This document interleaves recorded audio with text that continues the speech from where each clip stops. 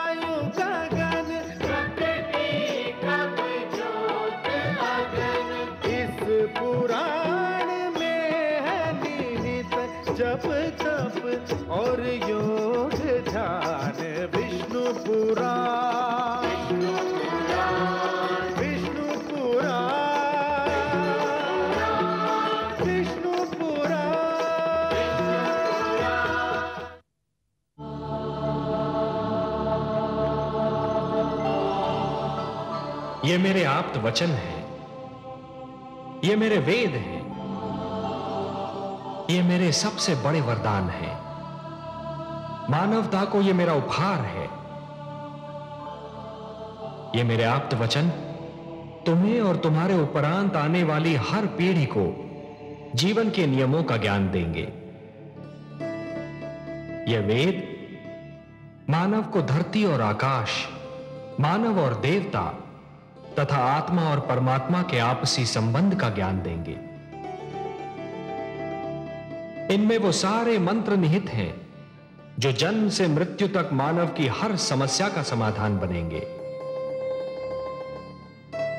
हे मनु, मेरे आप तो वचन मानव को प्रकृति से शक्ति प्राप्त करने की प्रेरणा देंगे।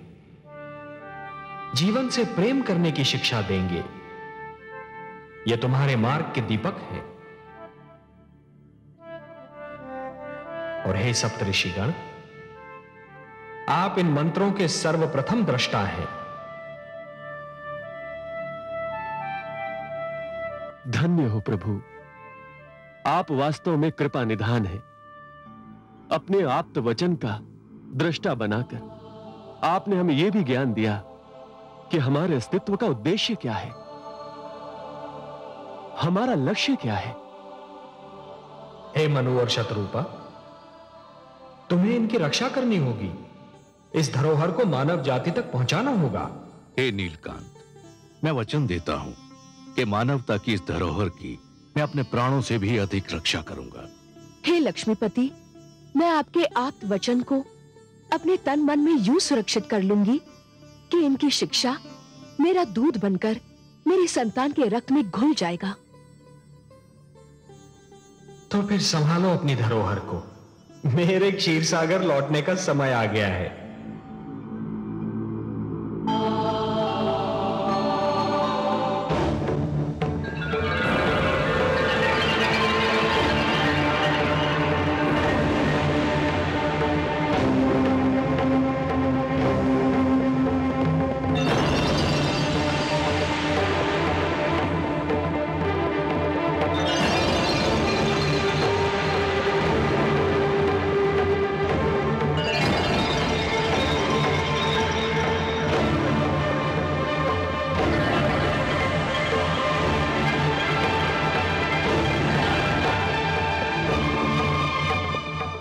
तुमसे विदा लेता हूँ।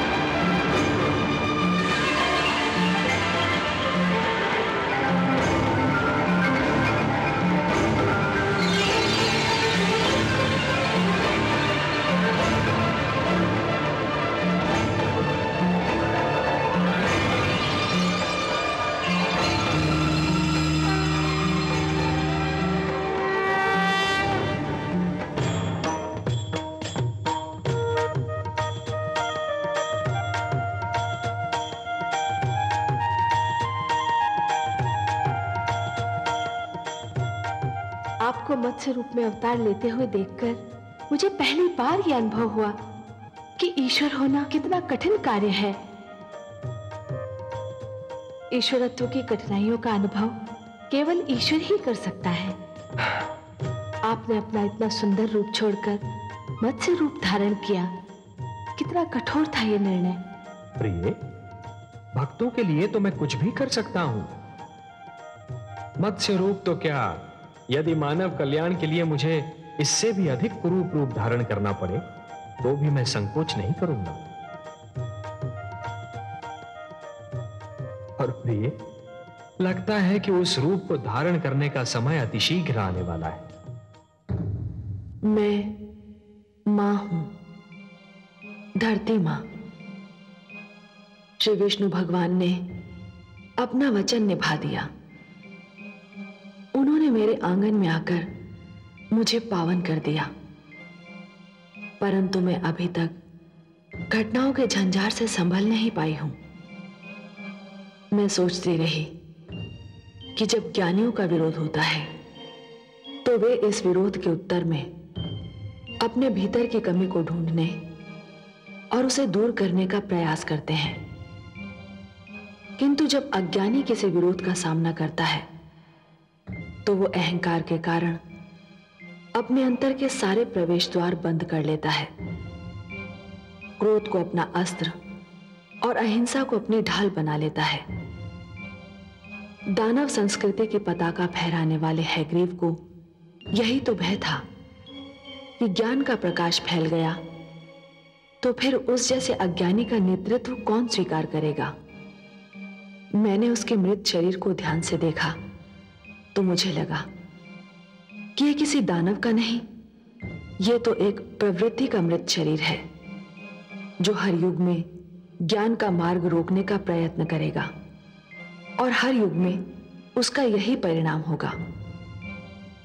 परंतु हैग्रीव जो भी था, जैसा भी था, एक माता का पुत्र था, और माता तो मैं भी हूँ, इसलिए मैं उसकी माता दनु के दुख से दूर कैसे रह सकती हूँ?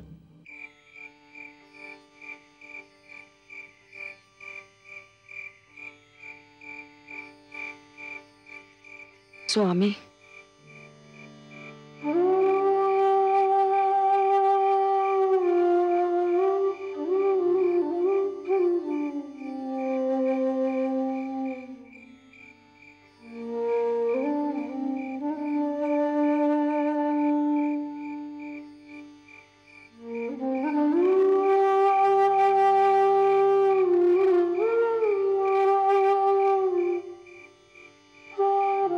यदि आप मुझे कोई समाचार सुनाने आई हैं देवी तो उसकी कोई आवश्यकता नहीं।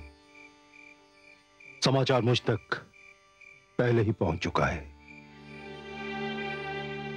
मैं कुछ और कहने आई हूँ स्वामी। कहिए। पुत्र है ग्रीव का शव चिता पर रखा है। केवल आपकी प्रतीक्षा है। आप नहीं चलेंगे? नहीं देवी। क्या मरने वाला आपका पुत्र नहीं था? पुत्र अवश्य था, परंतु मेरे लिए वो उसी दिन मर गया था, जिस दिन उसने मेरा बताया मार्ग छोड़कर हिंसा के मार्ग पर पहला पग रखा था। चिता पर जो शव रखा है, वो तो एक शरीर है, एक ऐसे अपराधी का, जिसे दंड मिलना ही चाहिए। उसे तो इससे भी कड़ा दंड मिलना चाहिए था। परंतु स्वामी। इस पूरी घटना में परंतु का कोई स्थान नहीं है देवी। उसने महान वेदों की चोरी की थी। उसने उजाले को अपने अज्ञान और अहंकार के अंधेरे से ढांपना चाहा था। और वही अंधकार उसे स्वयं निकल गया। नहीं देवी मैं वहाँ नहीं जाऊँगा।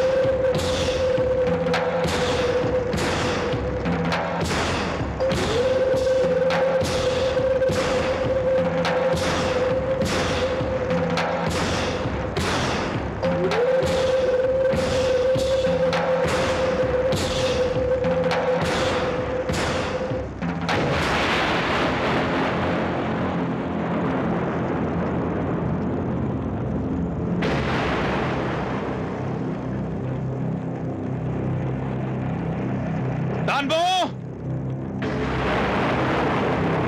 दानवराज हैग्रीव का वध कोई साधारण घटना नहीं है।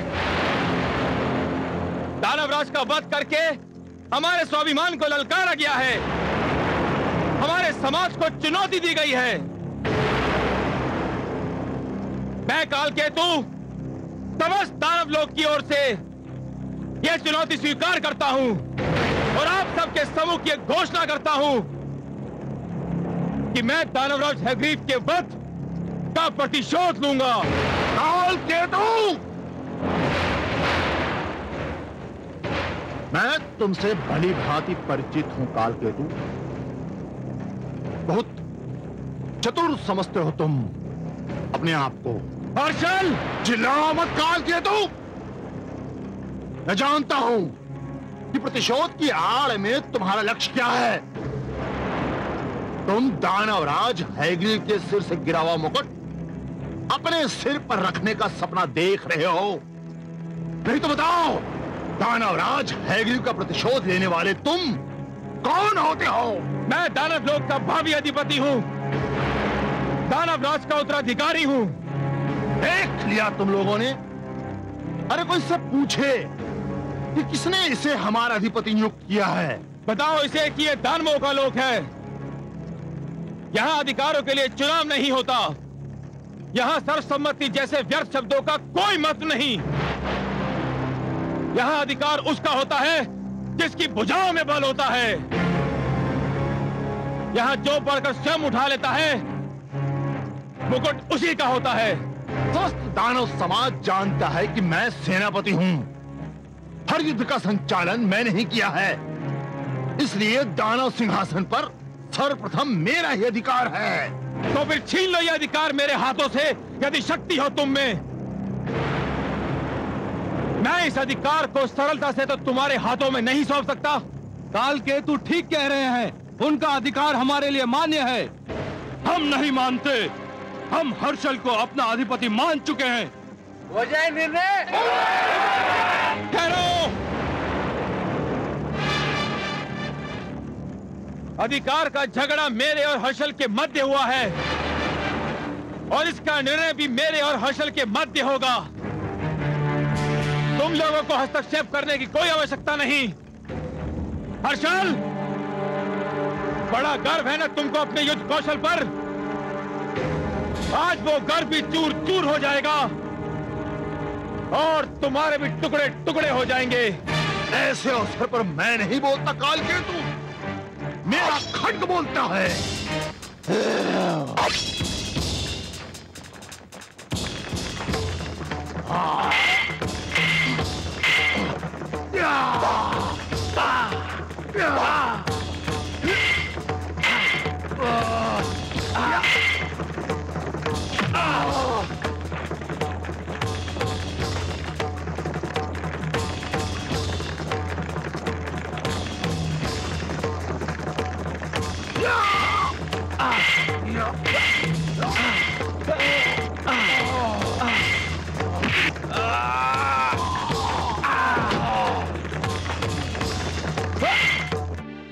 पर मैं तो चाहूँगी अपने पुत्र के अंतिम दर्शन को। आप पिता हैं। आप भावनाओं से ऊपर उठकर उसकी बुराइयों को देख सकते हैं। पर मैं तो माँ हूँ। ये कैसे संभव है? कि जिस पुत्र को मैंने अपनी गोद में थपकियाँ देकर सुलाया था, आज वो जब चिर निद्रा में सोया है, मैं उसे देखने न जाऊँ। यही तो समस्या है। कुछ माताएँ अपनी भावनाओं से ऊपर उठ ही नहीं पाती। फिर वही परिणाम जो आज आपके सामने है। किंतु मैं आपको रोकूँगा नहीं। मैं आपकी ममता की भावना को अच्छी तरह समझता हूँ उसका आदर करता हूँ। किंतु एक चेतावनी देना भी अपना कर्तव्य समझता हूँ। कैसी चेतावनी स्वामी? आपके पुत्र है ग्रीव ने। जिस दानव संस्कृति का बीज बोया था वो संस्कृति आज एक विशाल और भयंकर रूप से विराट वृक्ष बन चुकी है। आप वहाँ जाकर उस दानव संस्कृति का नग्न नृत्य देखेंगी तो आपका दुख और भी बढ़ जाएगा। कुछ भी हो स्वामी, मुझे जाना तो होगा। नहीं तो एक माँ का हृदय मुझे कभी क्षमा नहीं करेगा।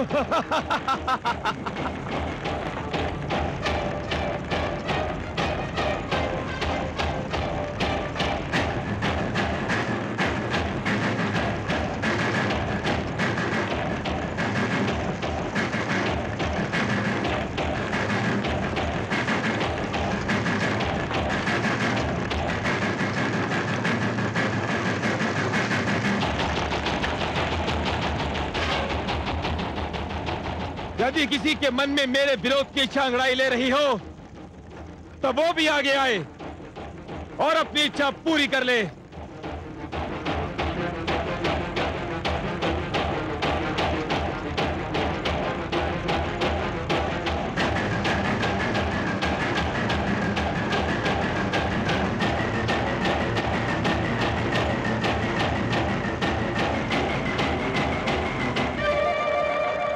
सत्य कहा था मेरे स्वामी ने कि यहाँ आकर मेरा दुख बढ़ जाएगा।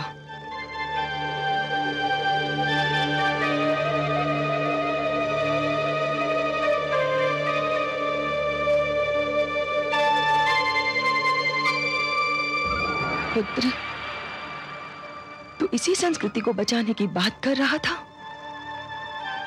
क्या यही वो संस्कृति है जिसके लिए तूने देव संस्कृति और मानव संस्कृति का विरोध किया था। देख इस संस्कृति को, जो तेरे शव पर अश्रु बहाने के स्थान पर एक दूसरे का रक्त बहा रही है, तेरी मृत्यु का शोक, तेरे उत्तराधिकारी के लिए युद्ध में लहू लुहान हो रहा है। धिक्कार है। तुम्हें अपने अधिपति की मृत्यु का दुख नहीं। ये चिंता है कि उसके सिंहासन पर कौन बैठेगा? अब भी समय है। छोड़ दो हिंसा और युद्ध का मार्ग। छोड़ दो अपने झूठे अभिमान को। मत जाओ उस राह पर, जिस राह पर रखा हुआ हर पग तुम्हें विनाश से एक पग और निकट कर दे। आज एक माता रो रही है। यदि तुम लोगों ने अपना हट नहीं छोड़ा तो कल सहस्त्रों माताएँ मेरी ही भांति रोती रहेंगी। क्षमा करे राजमाता परंतु आप जो कह रही हैं वो एक साधारण माता के लिए तो उचित है पर उस राजमाता के लिए नहीं जिसका स्वाभिमानी पुत्र विष्णु के हाथों मारा गया हो। तो तुम्हारे विचार में मुझे क्या करना चाहिए? इस समय तो आपको हमें शपथ दिलानी चाहिए। कि हम जब तक दानवराज हैग्रीव के वध का प्रतिशोध न ले, चैन से न बैठे। प्रतिशोध? कैसा प्रतिशोध? क्या प्रतिशोध करके तुम मेरे पुत्र के ठंडे शरीर में जीवन की गर्मी लौटा सकते हो? मैं जानती हूँ कि प्रतिशोध से तुम्हारा तात्पर्य क्या है। प्रतिशोध के नाम पर तुम इन लोगों के मन में घृणा का विष घोल रहे हो। क्योंकि तुम्हारे जैसे लोग केवल घृणा फैलाकर ही सत्ता प्राप्त कर सकते हैं। नहीं राजमाता। घृणा मैं नहीं फैला रहा हूँ। घृणा फैला रहे हैं देवलोक के वासी। वो देवता जिनसे हमारी शक्ति देखी नहीं जाती हमारी उन्नति जिनकी आँखों में कांटों के समान खड़कती है। वही सदा हमारे विरुद्ध पक्षपात करते हैं हमें नीचे दिखाने का अवसर ढूंढते हैं। काल केतु सत्य कह रहे हैं। देवता पक्षपाती हैं। हम देवताओं को इस पक्षपात का दंड देंगे। हम काल केतु के साथ हैं। देवलोक पर आक्रमण होगा। हे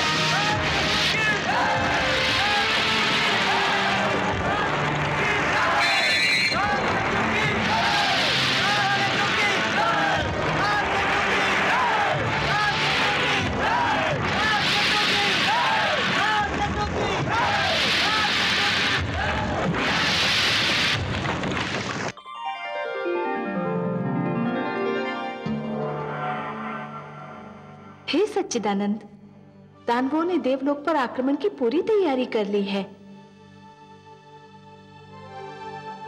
देवलोक पर युद्ध के बादल छा रहे हैं कमल नयन दानवों से और आशा भी क्या की जा सकती है, महादेवी? बिच्छू का किसी को डंक मारना केवल उसकी प्रवृत्ति ही नहीं, उसकी विवशता भी है।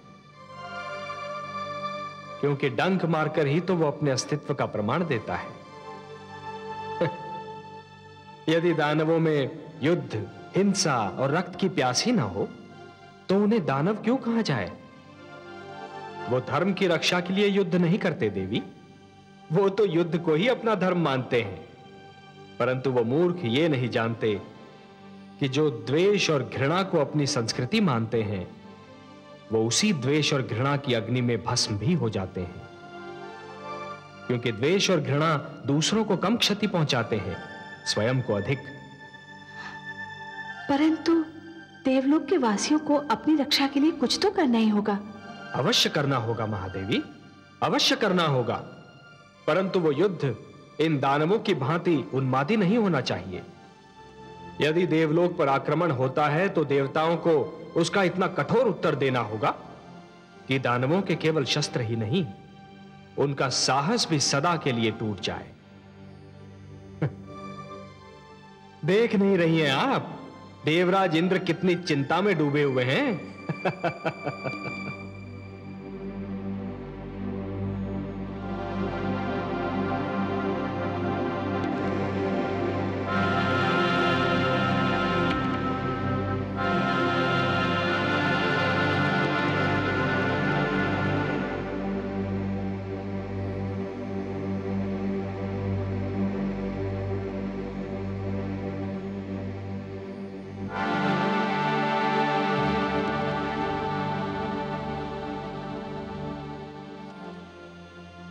देवलोक के स्वामी किस चिंता में खोए हुए हैं कि उन्हें मेरे आने का ज्ञान तक नहीं?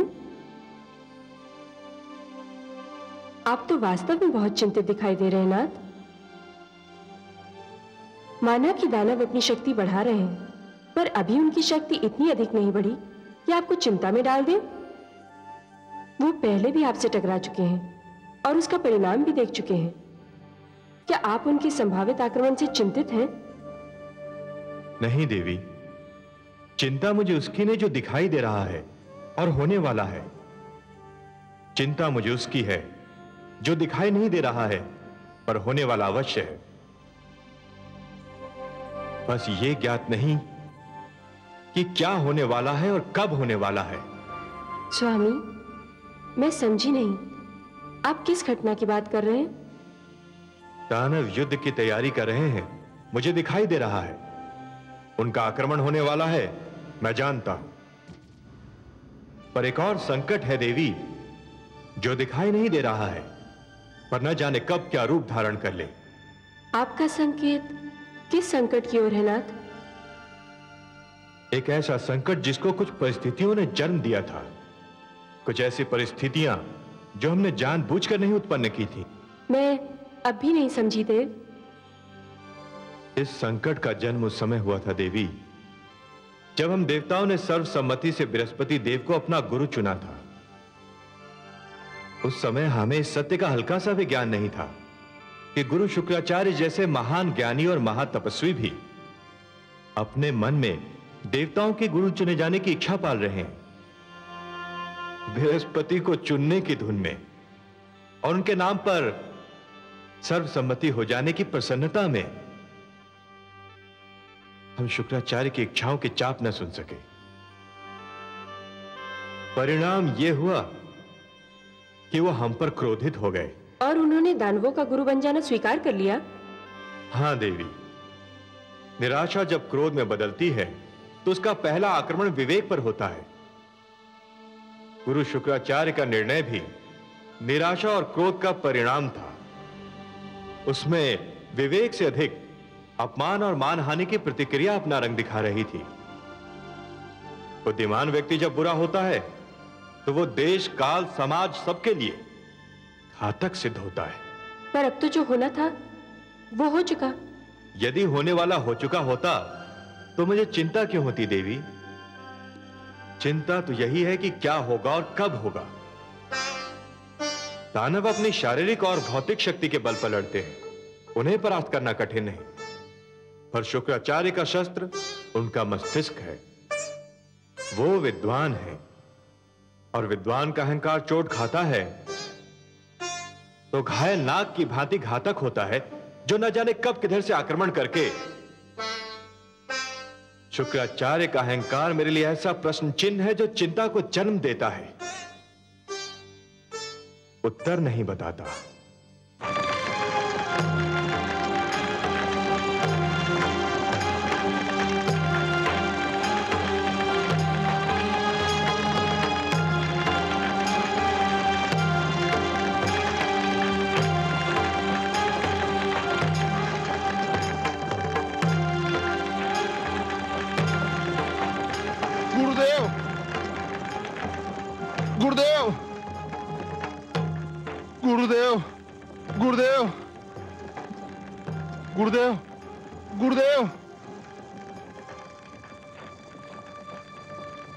किसने की तुम्हारी ये दशा?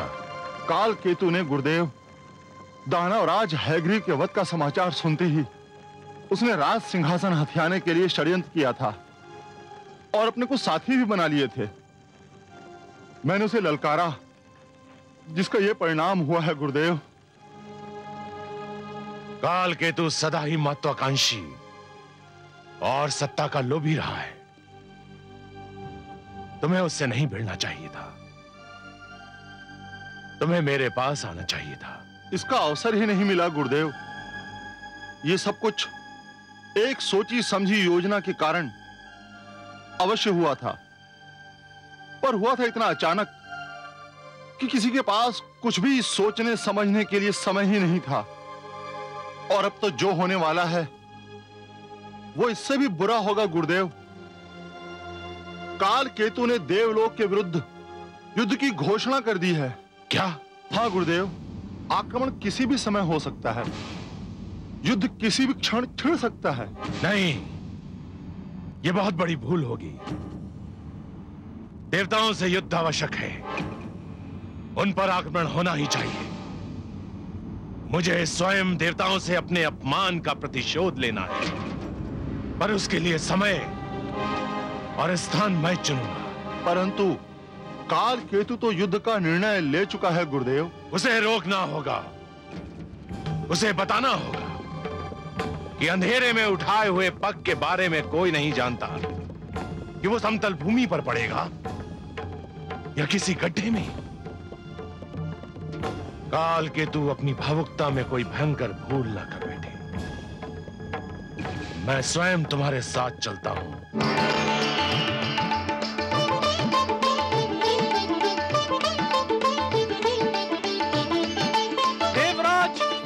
देवराज। देवराज। देवराज। क्या बात है चित्ररथ? दानवों की सेनाएँ देवलोक पर आक्रमण करने के लिए चल पड़ी हैं। दानव काल केतु अपनी सेना का संचालन कर रहा है। उसने देवलोक को तहस नहस करने की शपथ ली है। हमारी सेना आपके आदेश की प्रतीक्षा कर रही है। दानवों की सेना देवलोक की सीमा से कुछ ही दूरी पर है। नहीं हम दानव सेना को अपनी सीमा में पग भी नहीं धरने देंगे। युद्ध उन्हीं के क्षेत्र में होगा। दानवों की महत्वाकांक्षा बढ़ती जा रही है। हैग्रीव के वध से उन्होंने कोई सीख नहीं ली। मैं स्वयं अपनी सेना का संचालन करूँगा। आओ मेरे साथ।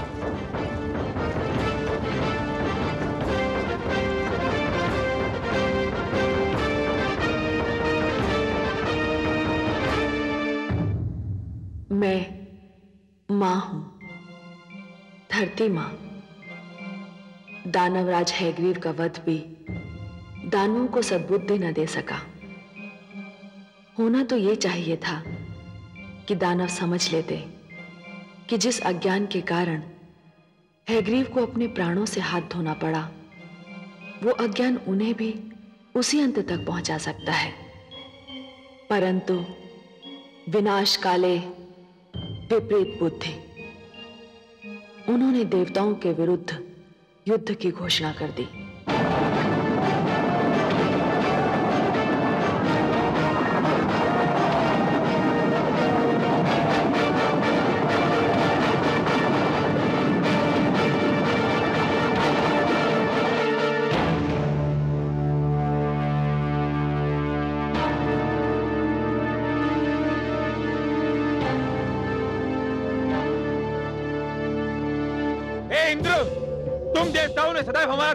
किया है। तुम्हारे मन में हमारे प्रति घृणा और द्वेष का भंडार भरा है। तुम समझते हो, उन्नति और समृद्धि पर केवल तुम्हारा अधिकार है, क्योंकि तुम हमसे श्रेष्ठ हो। परंतु आज तुम्हें ज्ञात हो जाएगा कि हम दानव कभी तुम्हारा प्रभुत्व स्वीकार नहीं करेंगे। आज हम तुम्हारा घमंड चूर चूर कर देंगे। हे दानवो, आगे बढ़ो। और देव सेना को उनकी सीमा के भीतर खदेड़ दो। सुनो काल केतु तुमने सदैव हिंसा, युद्ध और व्यभिचार में रुचि दिखाई है। तुम सदैव असत्य और अधर्म के मार्ग पर चलते रहे हो, और हम सदैव सत्य और धर्म का पालन करते रहे हैं।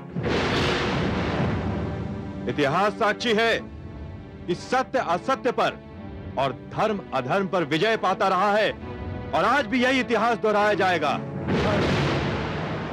वीरों, इन दानवों को आज ऐसी पराजय दो, ये युद्ध का नाम तक भूल जाए। अभी इन दानवों ने हमारे वज्र का प्रभाव नहीं देखा है। आक्रमण करो! आक्रमण करो!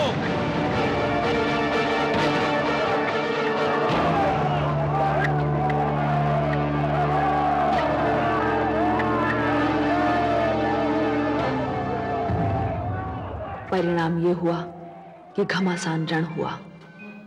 दोनों सेनाएँ एक दूसरे पर टूट पड़ी। दानवों ने अपनी सारी शक्ति युद्ध भूमि में झोंक दी। रणभूमि रक्त सागर में बदल गई। देवताओं ने भी पूरी शक्ति से दानवों के आक्रमण का उत्तर दिया। दानवों को भारी क्षति हुई। उनके सेनानी भारी संख्या में मारे गए।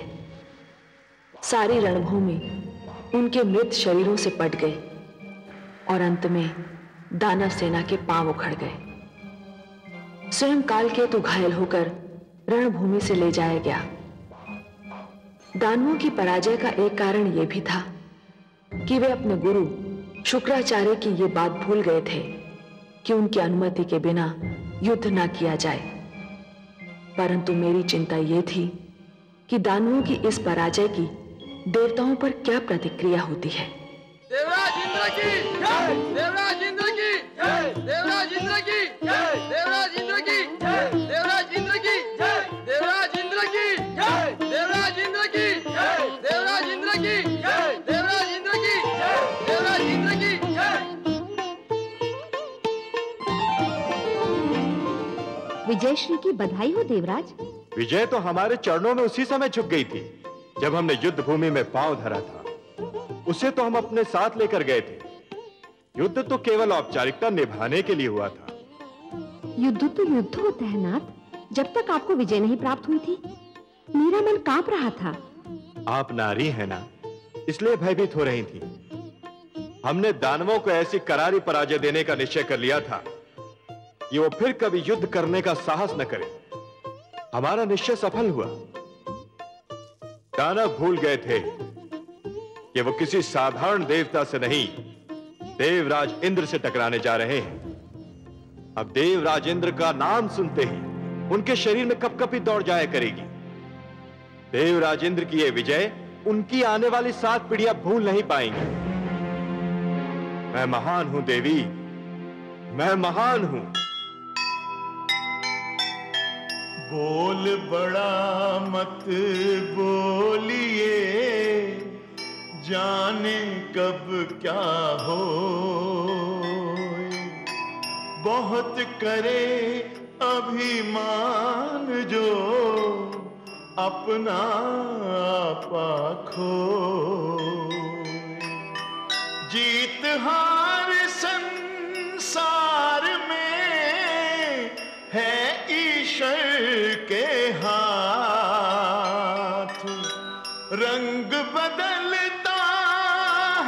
समय मत भूलो ये बात।